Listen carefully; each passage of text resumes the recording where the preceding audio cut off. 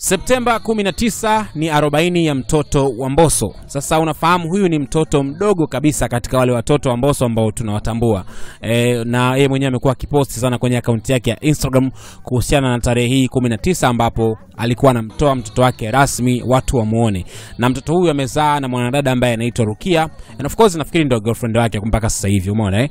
Na hata Rukia mwenyewe ulikuwa ukipita kwenye peji yake ya Instagram alikuwa anajaribu kupromote ama kuposti kuhusiana na 40 ya mtoto wao huyu. Sasa unafahamu kwenye 40 mengi huwa yanatokea, lakini kubwa ni support ya marafiki zake Mbosso pamoja na marafiki wa Rukia, na nimemwona Queen Dalini kutoka WCB amekuwa pale, nimemwona Dula Makabila lakini Hamisa Mobeto ambaye naye amehudhuria hapa. Sasa kama ufahamu, Hamisa Mobeto ni rafiki mkubwa wa Rukia ambaye huyu ndio girlfriend wa Mbosso na ndio mama mzazi wa mtoto huyu ambaye wamemtoa siku ya tarehe hii ya 19. Kwa hivyo ni shughuli fulani hivi ambayo imependeza kweli kweli.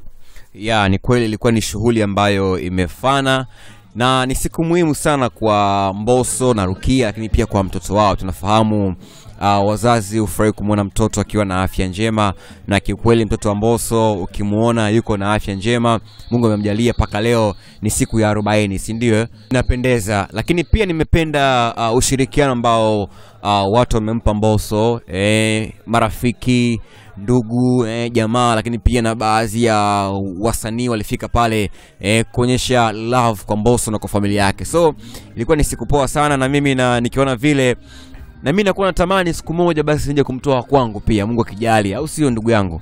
Maana kila mtu anapenda siku moja na yeye aje kumtoa kwake. Mi pia natamani siku moja nimtoa kwangu, au wewe unaonaje una, una, una, una, kwani ndugu yangu? Sasa kwako una, una mtu ambaye tayari ni mjamzito ama yupo tayari ambaye ameshazaliwa, mimi sijui. Yaani Mungu akijalia mbeleni huko nikipata ni- ni, mtoto basi nitafurahi pia e, siku 40 basi muje eh, njooni kina snate snate wengine wote bibi ya mkubwa nani eh, muje kutoa support au uongo ndugu yangu E, watakuja si unajua ati lazima waje, lazima waje washuhudie mtoto wa Bwana Yesu, au sio? Sasa unakumbuka kuna siku nimeweka story hapa na nikazungumza e, swala la mboso kuwarudisha watoto wake wale wengine wawili, kwa maana ya kwamba Ijaz pamoja na Yukan. Ijaz huyu amezaa na mdada kutoka Kenya, lakini Yukan kazaa na mdada kutokea hapa Tanzania. Ehe, kwa hivyo leo ina maana walikuwepo hapa kwenye hii shughuli kumshuhudia ama kumpokea huyu mdogo wao, na unafahamu e, ni watoto watatu ambao wanatambulika. Huyu wanne mwingine ndo yule ambaye ana mgogoro, mtoto ambaye amezaa na marehemu Martha, na familia kama unakumbuka ilisema kwamba mtoto huyu hayupo, kwa maana kwamba Martha hakuacha mtoto, unaona eh?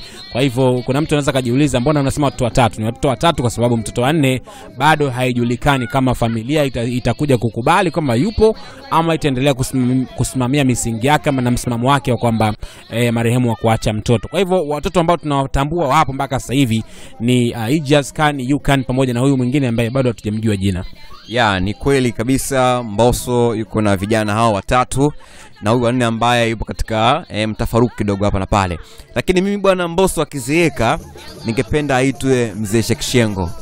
Yaani kama kisha kwa mzee wa miaka 80 hivi miaka 90 kuelekea mia, kama Mungu akimjalia kufika miaka hiyo, ningependa aitwe mzee shekshengo kwa sababu e, tunaona shughuli yake, kila mtu na mama yake.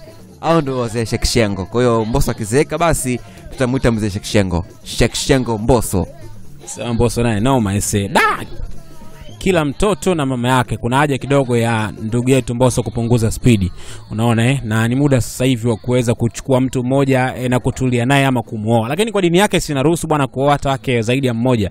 Kwa hivyo sishangai, ingawa hawa ambao amezaa nao eh, hayuko nao kimahusiano, ni mmoja tu na mmoja tu ambaye Rukia naamini ndo bado yuko naye kwenye mahusiano. Ruhusiwa, lakini tumeruhusiwa Kufanyaje? tukaijaze dunia.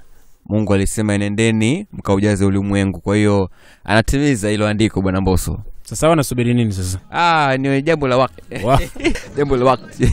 Anyways, una mtazamo gani? Share kwenye sehemu ya comments and then subscribe kwa taarifa nyingi zaidi.